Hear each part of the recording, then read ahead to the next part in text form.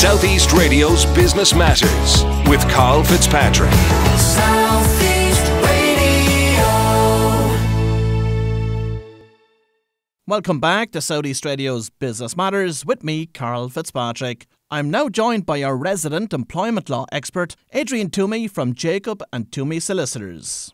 Adrian, the COVID 19 pandemic has had a dramatic impact on everyone for the past number of weeks. But this week in particular, we've seen many employers being forced to close their doors because of lockdown. For the affected employees, what impact does this have on their employment? And what are the obligations for employers in terms of paying their staff? Well, Karl, it's it's been an exceptional last few weeks, extraordinary uh, situation that all businesses are having to deal with. But I suppose for most businesses, the impact that they've seen over this last week has been that, firstly, many of them are not able to trade. Many of them have been directed, in fact, to close their doors. And for most businesses, they'll be finding that their employees are not permitted to come to work under the government guidelines simply because they're required to stay at home except for uh, the limited range of circumstances that we're all now familiar with. Now, in those circumstances, it's impossible to perform the employment contract. It's impossible for employees to work. It's impossible for employers to permit them to work. Um, and I think in the long term, the courts and the Workplace Relations Commission will come to regard this as effectively a situation where contracts of employment are temporarily suspended. Situation, of course, is different if you're involved in providing essential services. So, Adrian, if a business provides an essential service and their employees cannot work from home, are they permitted to travel to work? Yes, but even then, Karl, it's only if the employees themselves are essential. And that's a call, that's the big call that governments are asking uh, employers uh, to make themselves. Now, that covers the employees, but what if only some of the employer's business is essential? Now, that's giving rise to, to some difficulties because uh, I've spoken to a number of companies over the last week where their business is within the scope of essential services as the government has classified it. Um, and they're seeing, many of them are seeing uh, exceptional demand for some of their services or products, particularly if those are services or products that are required in the battle that the health service is waging against COVID-19. On the other side of the fence, however, there are aspects of their businesses that have gone dead. So you could imagine a situation where uh, a company is um, manufacturing gowns for uh, hospitals or masks for hospitals, but they also uh, manufacture a range of other plastic equipment um, that, that there's no need for. Well, the employees who are involved in the manufacture of that other plastic equipment aren't essential and are likely to be laid off. So let's take the example of a local barber shop or hairdressing salon. What happens with them and their staff? Sadly for them, uh, they're not in the category of essential services at present, and so the employees are unable to attend at work. The employers are compelled to close their premises. Um, and in those circumstances, we're going back to the, the, the earlier scenario I, I, outlined, um, where effectively their employment contracts, the employees' employment contracts, are temporarily suspended. So in that situation, there are two main options open to employers at the moment. Either they can ask their employees to avail of the COVID-19 pandemic unemployment payment of 350 euro a week, where the employee applies directly to social welfare, or um, if payment is continued by the employer, they can apply um, to the state uh, to avail of the 70% COVID-19 wage subsidy scheme. Now, Adrian, I'm glad that you mentioned the COVID 19 wage subsidy scheme. There has been some controversy about that scheme over the past week to 10 days, and much of it seems to have been caused by comments coming from solicitors. What is your view of the scheme, and how should employers be approaching it? Um, that's, that's an incredibly complicated question, Karl, because the scheme itself is riddled with, with grey areas. When the Taoiseach and the Minister for Finance announced the introduction of this scheme, it sounded to me like a great idea because what they're trying to do is avoid a situation where employees are perhaps unnecessarily uh, laid off or made redundant. The content of the legislation involves plenty more complexity, okay, and a lot more subtlety and difficulty than I originally envisaged when I heard the Taoiseach and Minister's announcements. So there are a number of declarations that employers need to make to revenue in order to avail of the scheme. And for many employers, it's going to be a good idea to avail of that scheme, and the scheme itself, I think, is well intentioned. But the legislation that governs it says that the employer must firstly be able to declare to revenue that it foresees a 25% decrease in turnover between the 14th of March and the 30th of June 2020. So that involves a degree of crystal ball gazing on the part of any company. Secondly, you have to declare to revenue that you're unable to pay your normal wages and normal outgoings. Now, that declaration is one that caused a lot of panic and concern on the part of many solicitors up and down the country. Because as we sit here today, if you are unable to pay your normal wages and normal outgoings to your employees, then clearly you're dicing with insolvency. And if a company is dicing with insolvency, then it's in danger of straying into the territory of reckless trading, for example. So you're, you're effectively being asked to make a declaration to the revenue that suggests, at least at face value, that you're in that territory and that you're close to closure. And that's why solicitors have been concerned about it. The other point that gave me some concern about it was that they intend to publish the names of all employers who um, want to or who apply to avail of the scheme or who do avail of the scheme after this current emergency is over.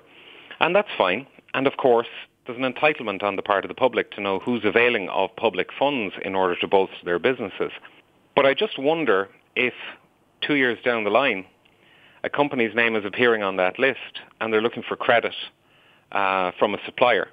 Will that supplier go back and look at um, how the business stood when we hit the crunch with COVID-19 and wonder, well, if they were in difficulty and couldn't survive for two to three months at that point, due to a 25% downturn.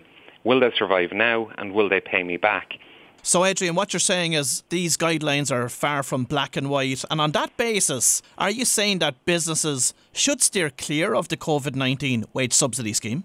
I wouldn't go that far, Karl, but I do think businesses, in assessing whether or not to avail of the scheme, need to very carefully consider the requirements and the declarations that they're going to have to make to revenue.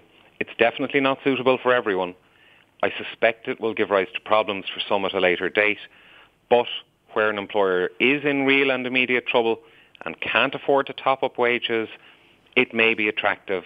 And I'm sure many, many employers and their staff will benefit from the scheme, particularly in the short term. I'm just saying approach with care, really, Karl. Adrian, on a different topic, if employers are placing staff on either temporary layoff or temporary short time, what process do they need to follow?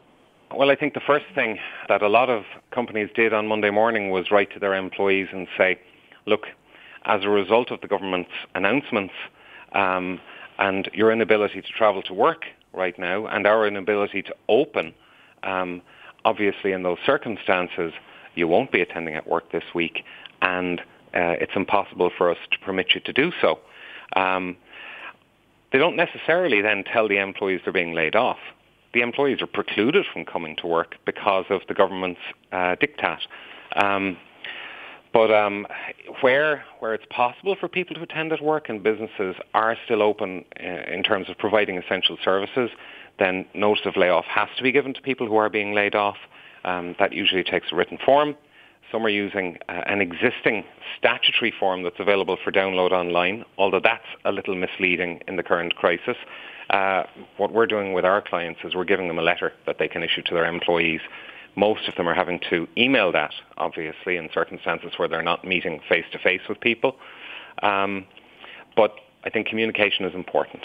So it's very important that over the next period, we do manage to at least remain in contact with our employees by telephone or email. I think the wise employer, the wise business will be letting its employees know that it, it is concerned that the situation may continue and that it will communicate with them further as matters develop. And Adrian, in a business where layoffs are taking place, what happens to pension contributions? Do they continue to be paid or can they be suspended? Well, it'll vary from business to business because it depends on the pension scheme and in particular the trust deed and rules applicable to that pension scheme. So Any business that's got an occupational pension scheme needs to talk to its pension administrators at the moment to see exactly what's required. But in general terms, Karl, if an employee is not getting paid, then there's no pay from which they can make a tax deductible contribution. And in terms of employer contributions, again, the pension scheme rules will dictate, but um, as a, a, sort of a broad sweep approach or broad brush approach to the issue, um, I would say to you that if somebody's not attending at work, then they've no entitlement to pay in benefits. One of the benefits is the employer's contribution to the pension scheme. I know that um, pension scheme administrators and pensions lawyers up and down the country are working frantically to get as much clarity for people as they can at present. I think generally speaking we'll find there are no pension contributions being made uh, in relation to most employees at the moment. And what is the position for employers in relation to other employee benefits such as health insurance and that? Well, the general rule there will apply again. So if somebody's not attending at work, through no fault of their own, but through no fault of the employers either, then they, they generally speaking will have no entitlement to be paid. Now, employers should check their employment contracts to see exactly what they provide, but um, all else being equal, uh, there's no entitlement to continuing benefits. The particular one that you mentioned, Karl, uh, health insurance is obviously of crucial importance at the moment. So it's absolutely vital that employers check their arrangements with uh, the VHI or Laya or whoever else might be providing a healthcare insurance um, uh, service for them and ensure that all employees have continuity of benefits. Even if that means contacting your employees and saying, look, you'll need to take over this policy by the end of the week in order to ensure that you have continuity because the last thing that anybody needs right now is to find that they get sick particularly with COVID-19, require hospitalization and hospital treatment and they subsequently end up with a bill that they would not otherwise have expected. So that's a very important point. Karl. It is a very important point indeed. Adrian, lots of Wexford businesses will have laid off employees over the last few weeks, and more will presumably have to do so in the weeks and months to come. Can those employees demand to be paid statutory redundancy payments during COVID 19? At the moment, they can't, Karl, and I'll explain why. Under normal circumstances, if an employee is laid off or put on short-time working, where they're working less than half their normal hours, and that situation persists for more than four weeks. So if you're laid off for more than four weeks, then you can go to your employer and give them notice that you want a statutory redundancy payment. The business then has four weeks within which to reply. And if it can reply and guarantee that it will give the employee a certain period of uh, consistent and continuous employment thereafter, there's no problem. If it can't give that guarantee, then normally the employee is entitled, as a matter of statutory right, to get a statutory redundancy payment, and that brings the employment to an end. Fortunately, government spotted that particular problem and did address it in the legislation that was introduced just over a week ago. So the Emergency Measures Act provides that the normal statutory rules, the ones I've just described, are suspended between the 13th of March and the 31st of May. So no employee can demand a redundancy payment between that period. And Adrian, what happens in a situation where, in a post COVID 19 pandemic, that a business reopens but it's not in a position to bring back its full complement of staff? Well, then we might have a situation where temporary layoffs continue for some period. Um, in those circumstances, if the suspension of the normal rules that I talked about uh, doesn't continue, if the normal rules kick, in, kick back in, employees will be able to demand a statutory redundancy payment. Or if the employer doesn't see itself ever being able to bring those employees back, then they'll be issuing notice of redundancy, um, and and that's going to be a significant cost for those businesses. There were rumours um, just over a week ago that the state would uh, step up and pay those redundancy lump sums where employees find that their employers are just not in a position to pay that statutory redundancy entitlement, then they can apply for direct payment from the Social Insurance Fund. But that's going to be one of the many messes that we're going to have to clear up after all of this is over. And on the other side of the fence, Adrian, there are essential workers out there who are genuinely concerned about their own health and safety and the fact that their families might be exposed to an increased risk of catching COVID 19. Can they refuse to attend work? And if so, what happens then? if they're afraid to come to work, then the first question that any employer will ask is, well, well, why? Is there a particular concern? Do you have an underlying health condition? Uh, are you showing symptoms of COVID-19? Um, is there a particular aspect of the work that uh, you feel we're not putting appropriate measures in place to protect you? Um, and, and then an employer can respond to any of those concerns. If they have an underlying health condition, for example, then it's important that they notify their employer of that fact. And I think most um, genuine employers uh, in those circumstances would look for medical advice. And if the medical advice is this person should self-isolate, well then I don't think any reasonable employer would require them to attend at work and they'll become entitled to illness benefit for COVID-19 absence even though they themselves are not yet sick. If on the other hand it's an irrational fear uh, or there's no basis for the fear other than the general sense of fear that the uh, the population is feeling, um, then they can be directed to attend at work. Although I haven't encountered any employers who are taking that pretty stern or strict approach to date. Most people are trying to facilitate their employees insofar as they can. Um, the second element of the question, I think, Karl, related to, to danger money, and it, it has been interesting this week to see a number of retailers acknowledging the fact that their employees are uh, continuing to attend at work, probably working even longer hours than, than normal, um, and that they are exposed to a greater degree of risk than members of the public who are remaining at home. And there have been some temporary pay increases and bonuses negotiated, agreed or offered, but there's no entitlement to that. Well, if you've just tuned in, that was employment law expert Adrian Twomey from Jacob and Twomey Solicitors, and I would like to thank Adrian for clarifying the current employment law landscape which exists at this present time. Southeast Radio's Business Matters with Karl Fitzpatrick.